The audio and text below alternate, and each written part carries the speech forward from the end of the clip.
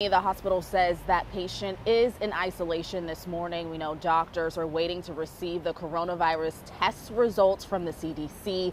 We do know Washington so far has submitted 17 tests on residents here to the CDC. Seven came back negative. They're waiting for the other nine results. So even though the risk of contracting the coronavirus for people here in the U.S. is currently low, leaders here in Washington state are taking several precautions.